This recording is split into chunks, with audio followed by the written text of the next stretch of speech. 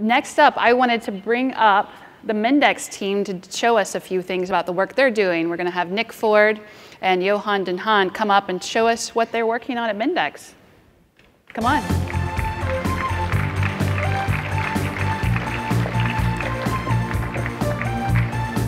Thank you. Hi. Hi. Welcome to Cloud Foundry Summit. Yeah, great to be here. I know this is not your first one, so but we're excited to have Mendix back and showing us some the work that you've been doing. Um, tell us a little bit about what you've done in the last year. You were on the stage last year with uh, some of your customers, but you've done a lot in the last 12 months, or as Molly said, 213 days. What's that look like for Mendix and what's been going on? Yeah, so and indeed you're referring to we've been involved in the Cloud Foundry Foundation quite uh, quite a while. So early on we joined it, um, and I think the reason is that we uh, we did that is we have joint philosophy behind the platform. So if you look at Cloud Foundry, it's all about abstraction and automation for deployment of applications, for the operations. And Mendix with low code is also all about abstraction and automation, but then for application development. So we have our visual models that we uh, give to our users that they can build visual models and define their applications and then turn that into working uh, applications automatically. And we've seen over the last 12 months um, a big uptake in the amount of applications created on top of our public cloud, which is running on Cloud Foundry on uh, AWS. So we have now uh, 40,000 applications running uh, on Cloud Foundry in our wow. public cloud in six regions. Um, and half of that has been created over the last uh, uh, 12 months. So 20,000 apps in the last 12 months. Yeah, so all uh, adding to, to our public cloud. Um, and on top of that, we, um, we signed up some great strategic partnerships with IBM and SAP. So you can now uh, buy Mendix via IBM, via SAP, and then run on their clouds. So there's also thanks to Cloud Foundry that you have this interoperability. You can run these apps uh, on any cloud. And we actually started these relationships at previous Cloud Foundry summits. That's what we're here for, to bring everybody together. Exactly. So what, yeah, let's look at an example. Yeah, let's see, what, what's, uh, what, what's Nick's got going over here. Okay, hi. Hi everyone. Um, what I want to do is talk you through a chatbot. Everyone loves a chatbot, right? So we're going to take this chatbot and make some changes to it. It's simple. We've trained it using the IBM conversational UI. Um, so that's running the, the bot the, behind the scenes. And I've trained it for some simple dialogue. So it's asking me if I want to uh, take an image and to scan an image. So what I'm going to do is actually um, allow the chatbot to take an image, scan that image, and give me some response back into it. Right now I've built sort of entry level for that, so I can take my picture uh, or a picture of individual. So let me take a picture of myself. And once I've got that, hit OK. And it will pop up inside the chatbot with the image. We have a button at the bottom that actually doesn't do anything right now. So I want to talk to you about how we can lose, use low-code platforms to rapidly build um, capabilities into, uh, for example, in this case, a, a chatbot.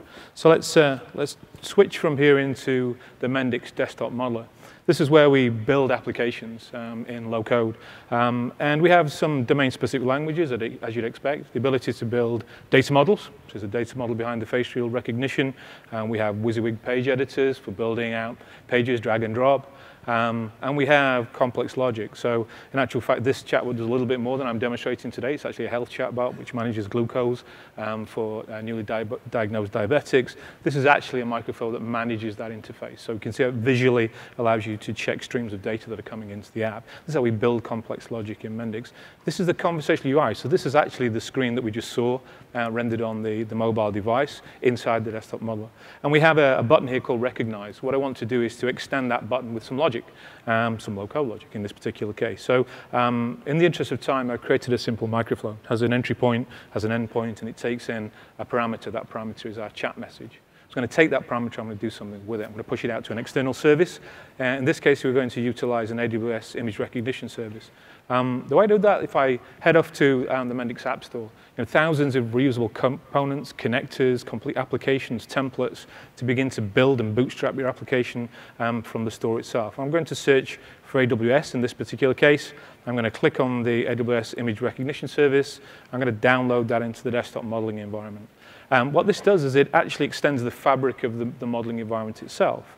Um, so I'm not a, an experienced developer when it comes to integration with REST service or external services, um, but I'm trained on Mendix. So what I can do is I can go back into my microflow now. If I look at the toolbox um, for a microflow and search for AWS, you'll see I have some new connectors in my uh, toolbox that I can start to use. The one I want is detect uh, faces and labels, and we'll drop that onto the microflow itself. All I need to do to work with that is to configure it it takes in three parameters. I need to authenticate with the service, and I need to pass it an image, an image that it can recognize and give me data back. So let's edit this. Um, let's pass in the chat message. The chat message is, is actually uh, generalized as an image as well, and it takes a couple of other parameters. So um, we'll have an AWS access key um, for authentication, and the other one is we need an AWS um, secret access. There we go. That's done, now we've finished. The final thing I want to do is to write the data that comes back from that recognition to my database. So to speed things up, I've created a subflow, so a microflow that does that for me. Um, so let's open up here. I want to make a call to a subflow, which is a microflow already created.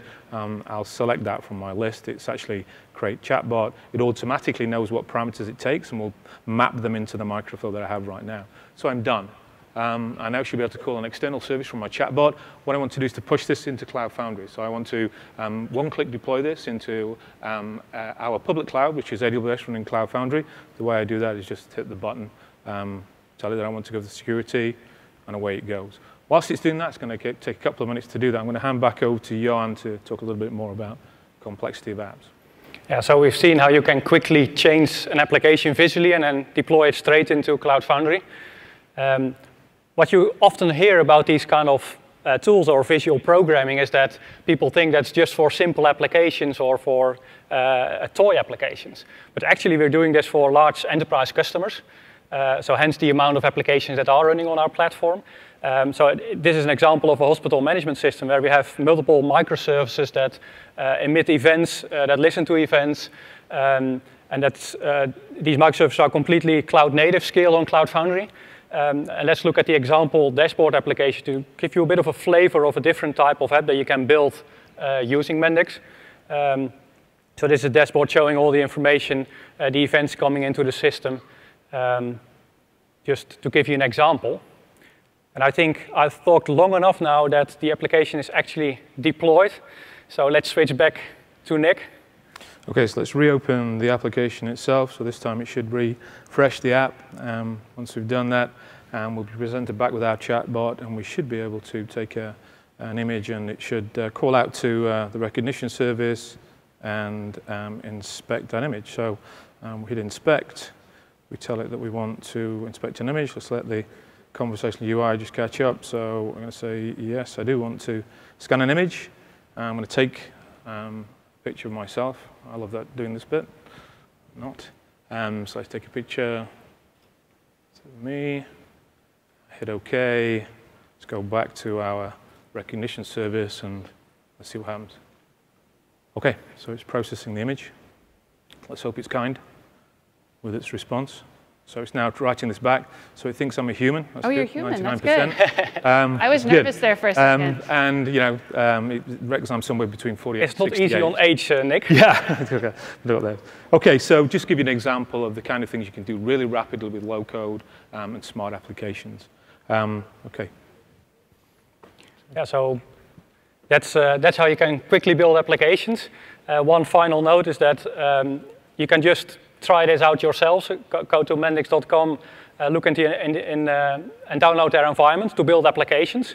Um, as I said, can, we have the native integrations with IBM and SAP, so you can build on, uh, so deploy on top of these clouds or on our public cloud, which is running the open source Cloud Foundry. But you can also just enter your own Cloud Foundry details, so you can just deploy straight into your uh, private environment and, uh, and build applications quickly and even enable your business users to take part into building applications. That's awesome. So that is a great use case of what low code, no code can bring to the table. And Cloud Foundry. Exactly, it's a, a great, great combination. Marriage. It's a great marriage, yes. Thank you so much, Johan and Nick. Thanks. Thank you for Thank you. proving to us that you're human. Indeed.